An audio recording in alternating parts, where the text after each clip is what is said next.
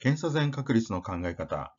新型コロナウイルス感染症の PCR 検査を例に、どんな人に検査をすべきなのかという考え方を復習したいと思います。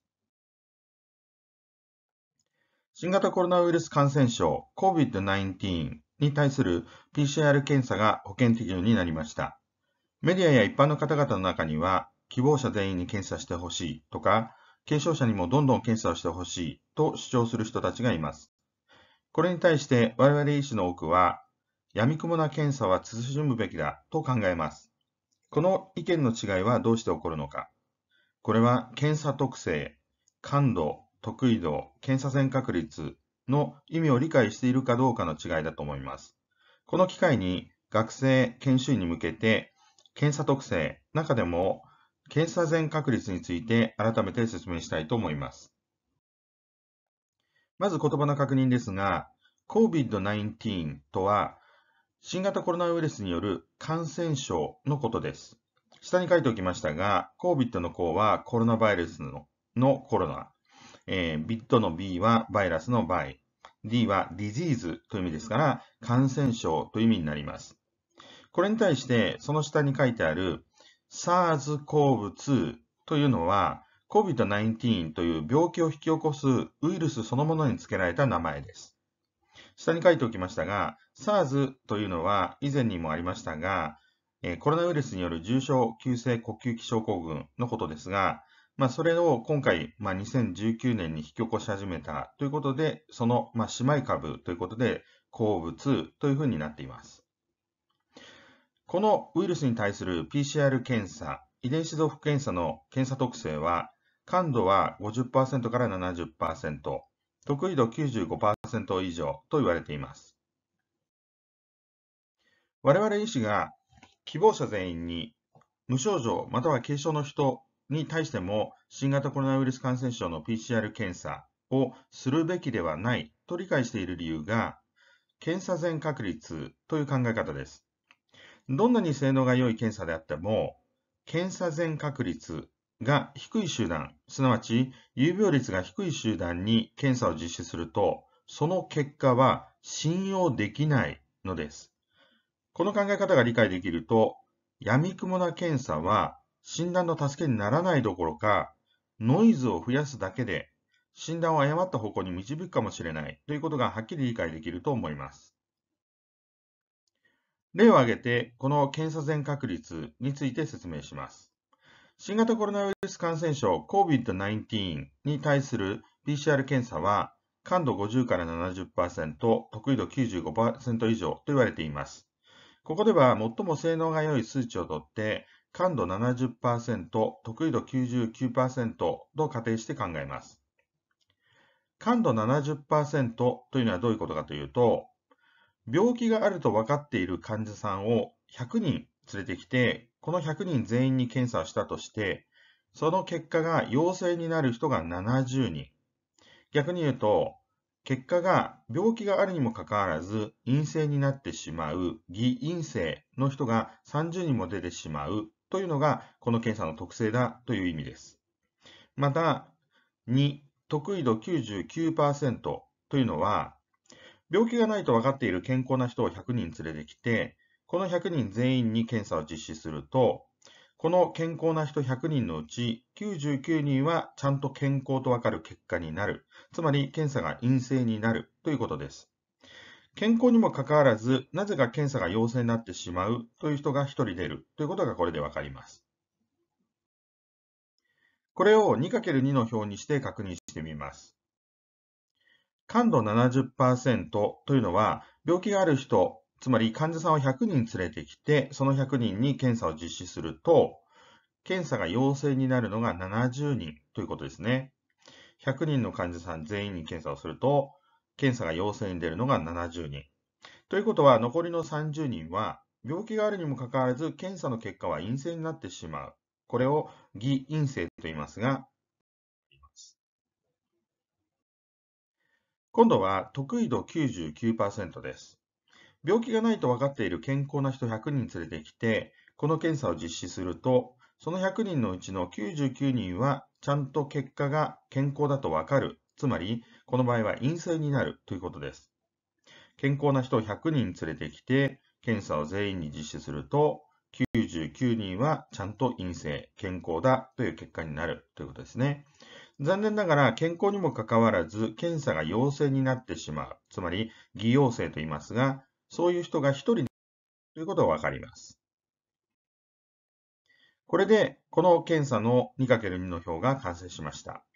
注意していただきたいのは、これはあくまでもこの検査そのものの特性、性能を表しているだけということなんですね。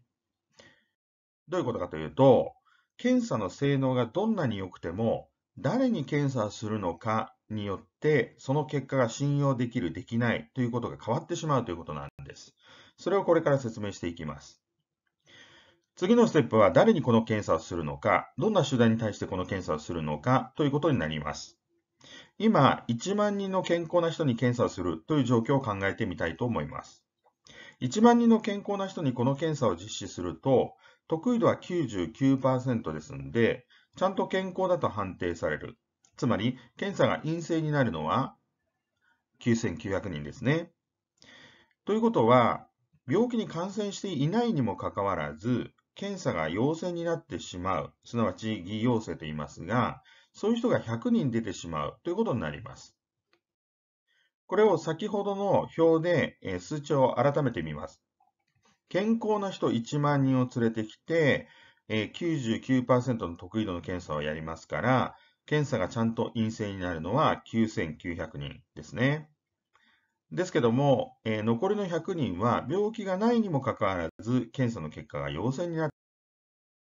こういうのを偽陽性と言いますけども、この偽陽性の人が100人出てしまうということですね。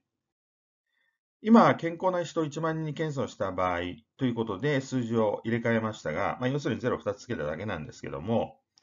えー、こういう結果になりますよということですね。さて、ここでですね、一つ仮定をしてもらいたいんです。今、検査をした健康な1万人の集団に、実際に感染をしている患者さんたち100人が紛れ込んだというふうにイメージしてください。こんな感じですね。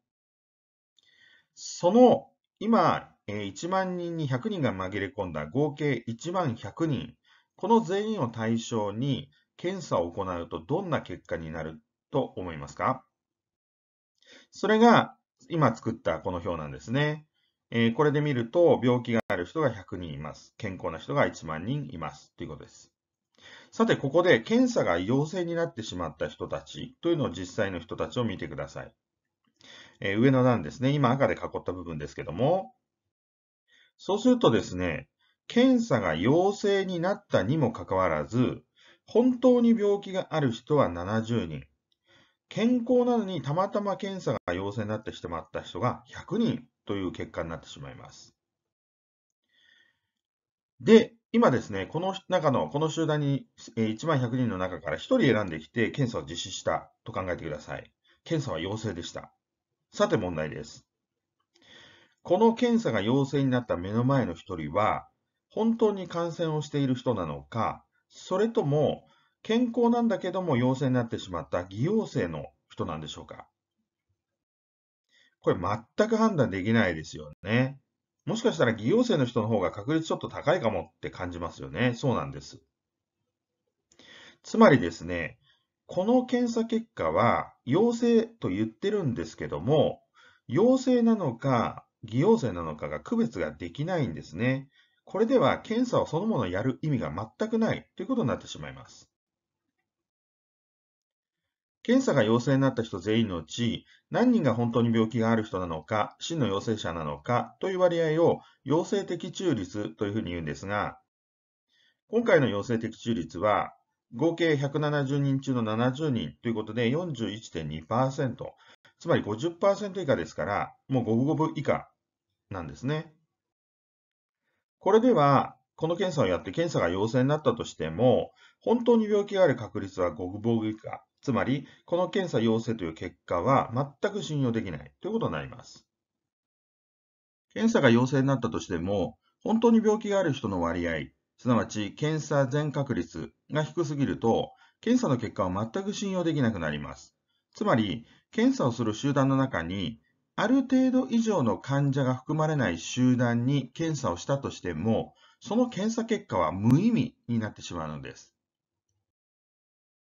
検査の結果が信用できるようにするにはどうしたらよいのでしょうか？言い換えると、どんな集団に対して検査すれば、その検査結果を信用することができるのでしょうか？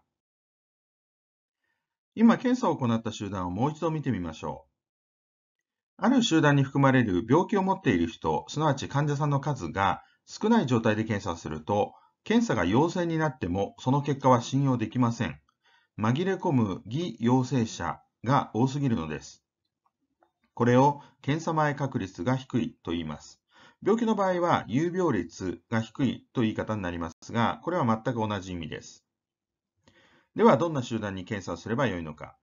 ここでどうするかというと、病歴診察、簡単な検査から明らかに健康な人を除外して、病気の人の割合が高い集団を選び出してから、この PCR 検査を実施します。例えば、感染した人に濃厚に接触歴がある、渡航歴がある、症状が1週間以上続いて呼吸苦があるといった病歴や、胸部レントゲンで特徴的な所見が認められるといった情報によって、疾患の可能性が高い集団を選び出してから検査をするのです。逆に言うと、感染した人との接触歴や渡航歴がない、症状がない、あっても軽い、胸部レントゲン等の簡単な検査で新型コロナウイルス感染症が疑われない人には、検査を行わないようにします。今仮にこの選び出した集団には、実際に感染を起こしている100人と、健康だけれどもこうした病歴診察簡単な検査で引っかかってしまった人が100人含まれているとします。ここでこの検査をもう一度やってみると、先ほどの 2×2 の表はこのようになりますね。さて、この新しい集団全員に再度検査を実施するとどんな結果になるでしょうか上の表、上の欄見てください。陽性になったとこですね。場合は、真の陽性が70人に対して偽陽性が1人という結果になります。そして今この集団に属しているであろう人を1人選んで検査を実施しました。検査は陽性でした。さて、この人は真の陽性でしょうか？それとも偽陽性でしょうか？こうなるとですね、さすがにこの人は病気を持っている確率が高いと言えますね。この集団で検査が陽性になるのは合計71人。そのうち実際に病気を持っているのは71人中の70人ですから、これなら検査が陽性になった場合に、その結果を信用して、疾患を疑ってさらに詳しい検査を行うとか、治療を始めるといった意味があります。検査結果が信用できるということですね。これを陽性的中率が高いと言います。今回は98.6%です。ここまで見てきたように、どんなに感度、得意度が高い検査であっても、つまり精度がどんなに高い検査であっても、有病率が低い集団で検査をすると、偽陽性、偽陰性が多くなりすぎてしまい、結果として検査結果を信用できないということになります。病歴と診察によって検査が信用できる有病率を持った集団を選び出してから検査を行わないと意味がないということです。感染している可能性が少ない人にでも、どんどん検査をやればよいというのが、いかに間違った方針であるか、よく分かってもらえたと思います。そして、そんな有病率が低い集団に検査をしたら、偽陽性者が多くなり、その人たちにとっても非常に迷惑になります。また、そういう人たちを隔離させる施設にも無駄な負担を強いるということになります。偽陽性が多すぎると検査をやる意味がないのです。こんな有病率が低すぎる集団に検査をしても結果を信用できないということは、結果が信用できないならその検査はやる意味がないということになります。偽陽性者が多すぎるのです。検査をやるなら、その検査結果が信用できる集団にやらないと全く意味がありません。つまり、有病率が高い集団、検査前確率が高い集団を選んでから検査を実施すべきです。以上です。お疲れ様でした。感度得意度検査全確率を復習するには、以前にアップした以下の動画も参考にしてみてください。